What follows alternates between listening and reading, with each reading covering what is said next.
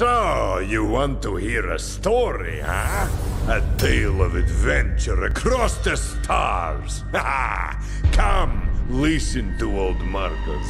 Have I got a story for you?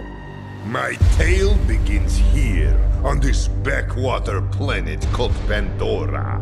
Some say it is a wasteland of greed and violence, and it is. But if you've got skills to pay the bills, Pandora is full of opportunity. Vault Hunters. They brave the merciless borderlands in search of secret alien treasure. My father told me tales of vault hunting when I was but a little Marcus boy. And now I tell you. So, you ask, what treasures do the vaults hide? Fame, wealth, power. Or maybe nonsense like charity or family. I don't know. Use your imagination. Whatever the prize, a Vault Hunter must have the determination to seize victory from the jealous hands of fate.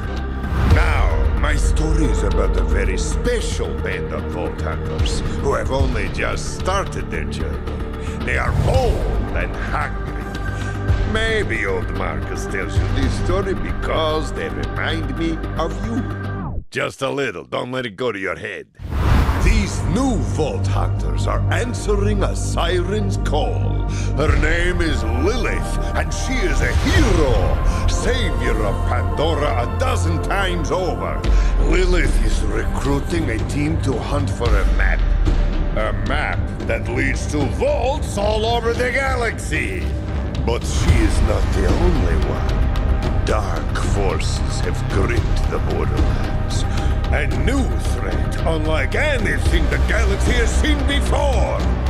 My story begins right here on Pandora with our new Vault Hunters, their siren leader, and most importantly,